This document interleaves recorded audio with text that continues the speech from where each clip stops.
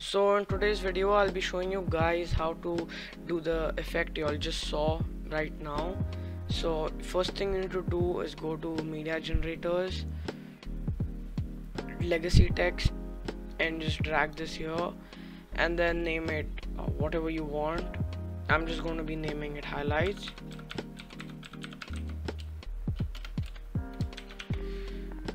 okay and then you can just add a font if you want.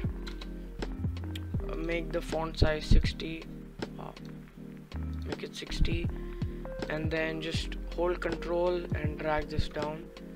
Click ok. So now you have two text layers.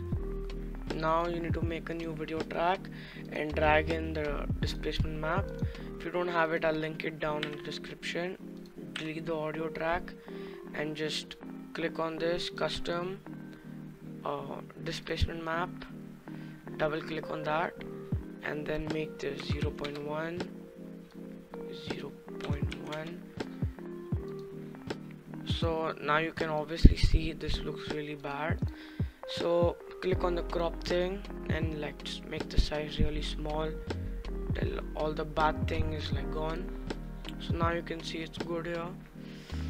And then just drag this displacement map till the text till where the text gets over.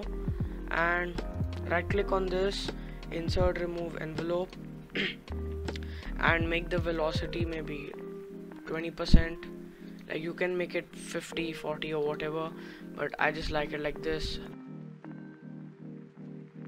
So now uh, what you need to do is click on the second text layer you've made. Click on crop and just make the frame size a little smaller something like that. Means so the text actually becomes bigger but you just need to make this like a little smaller like that.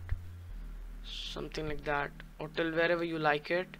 And then click on this properties and like just change the text color to whatever you want it to be. I'm just gonna keep it red and then now you need to click on the crop thing the second text layer the first text layer sorry.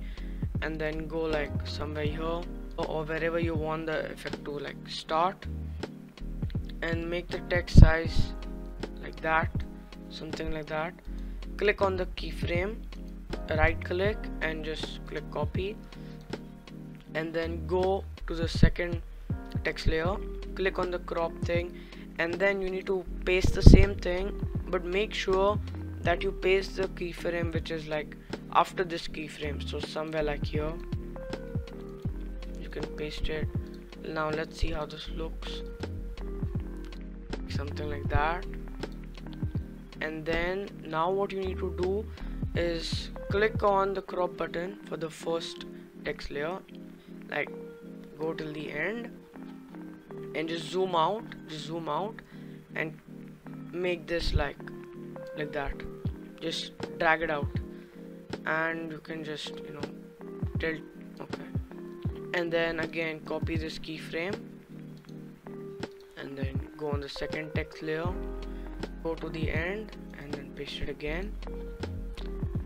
So you to click on this uh, click on this keyframe copy it and like go somewhere till there and maybe paste it. Now let's see how it looks. Okay it's something like that.